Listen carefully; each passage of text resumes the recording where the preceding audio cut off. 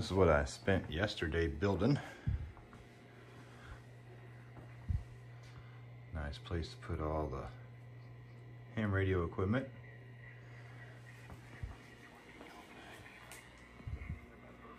Whiskey, Foxtrot Uniform, North Carolina, leaving Europe, Norway, or Washington, Florida, United Everything works. And listening for It calls. works well, except this KWM1 I still have to go through. I do have a power supply for that, but I'm gonna have to rebuild it. CQ, CQDX, CQ That- Delta that's our X-ray, CQ20 meter DX. Ham shack.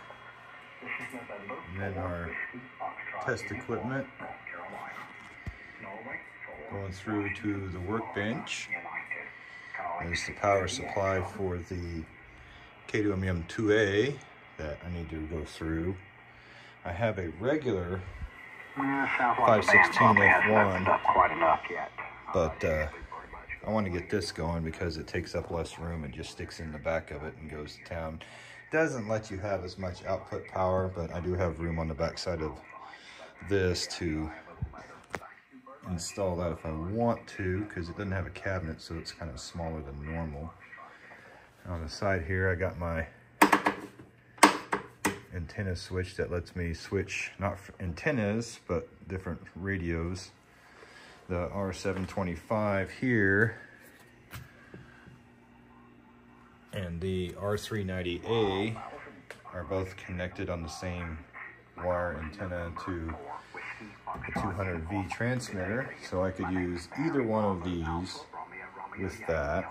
And then of course the S-Line 32S1, 75S1, 30L1 amplifier, which I have two. I just don't have a place to put it yet unless I get rid of one of the two Kenwoods or maybe put it up there with the 75 or the KWM1's at. And then the 75A1, which works really well. This speaker, the 270G2, is actually connected to these because this has the transformer in it that goes from 600 ohms to 4 ohms for the speaker and that. And the 270, 270G1 is connected to the 75A4.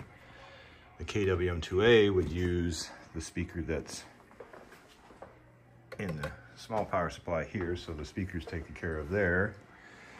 And then if I wanted to run these, the TS820 or the TS830, they got their own built-in speakers, so that's not a problem. And then, oh wait a minute, hold on, I'm wrong. This speaker is connected to the 75A1. The speaker that's in here is connected to the 75A4. That's right, I did it that way. And then this is my antenna switch and output meter. There's our dipole, or the, there's the vertical. There's the dipole, power to run this, and the LED lights. And then for test equipment, we got nice this nice big rack here with another R398 at the bottom. All the way up there. Bunches of plug-ins for the 560s and the 500 series. The little ones are for the 564, 565, and the 561A. That's these guys here. And then the big ones down here are for the 556, 545. And then I've got a 585 over there that came in this big box, but the tube busted, so I gotta get a new tube for it, which is on the way. And yeah, general craziness messy bench that I just got cleaned off because I moved this drafting table from over here put the desk from that was over here over here because this can hold a lot more weight than this can and this is actually bowing down. It's a half an inch shorter in the middle than it is on the sides.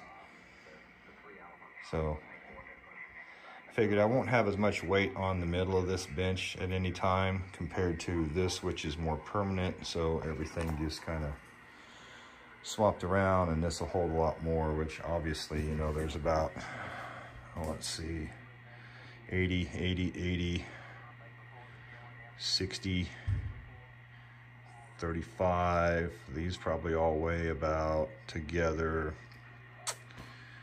maybe close to 100 pounds Stuff on top's probably about the same way, about close to 100 pounds. So yeah, several hundred pounds there, but this is all pine, 18 inches deep, four foot tall. Worked out pretty good. Cost me a little under 200 bucks to put it all together with price of the wood, the screws, the glue. And I built it yesterday afternoon and got her done. So don't think I'm going to finish it. I kind of like the way it looks without finish on it. But there we go. Ham shack, workbench, test equipment. 575 tra curve tracers out the yin yang got three of those so and they all work. Work pretty well back there is my little type 130 LC meter and my senior volt voltmeter volt ohm meter. I got Tektronix power supply an HP 5326B voltmeter and counter the Type 75A power test set, which is really, really handy for testing this old stuff.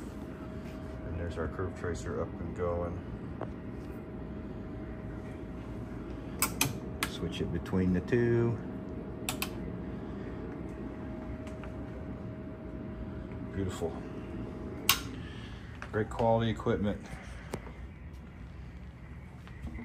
And our pasted soldering station that I repainted with Tektronix blue. So, I just like that color. It matches everything. And here's my soldering iron, which is a Hakko F FX951. Very handy, lovely little thing.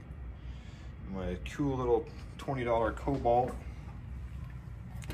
toolbox I bought at Lowe's. 20 bucks on it was neat. Good place for my pliers and such extra capacitors and resistors. More resistors over there. Screwdriver rack, voltmeters, just about everything. Everything you need to uh, fix this old stuff. Plus tons of more projects that I still have yet to work on. And got stuff underneath there. It's just everywhere. Another Marantz stereo, model 22 I gotta get working. Stereo part's not working But uh, there we go. IFR 1200 Super S.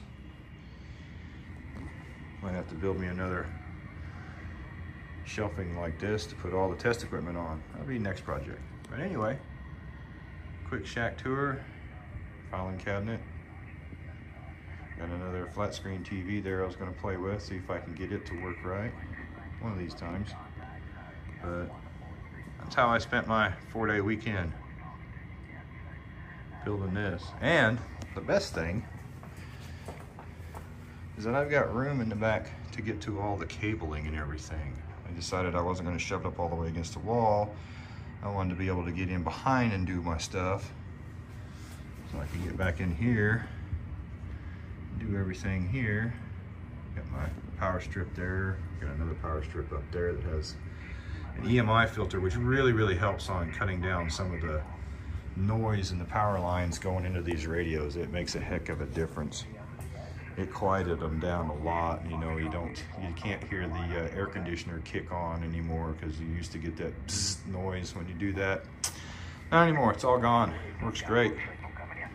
But yeah, there we go. There's our main station. Fun times.